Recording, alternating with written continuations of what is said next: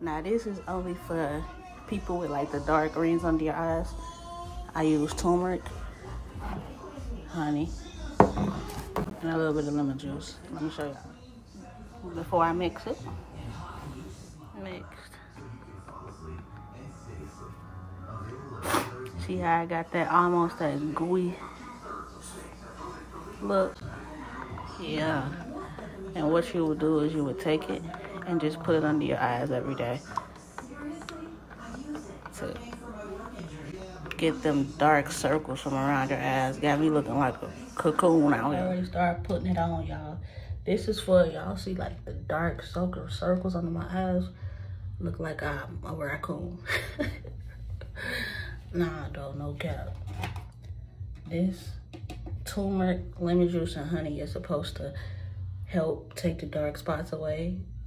Lemon juice because of the vitamin C. Turmeric because of like the lightening or stuff that it has in it. And honey just mix them together and it works. What you do is you take Q-tip,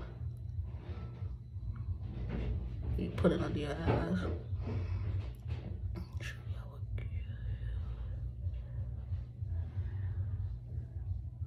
above my eyes. You see where it's dark? And you do this for like two weeks. And it's supposed to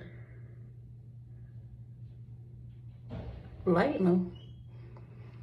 We're gonna go through the process together, y'all. You leave this on for like 15, 20 minutes every day, and it should work. Go through the process with me.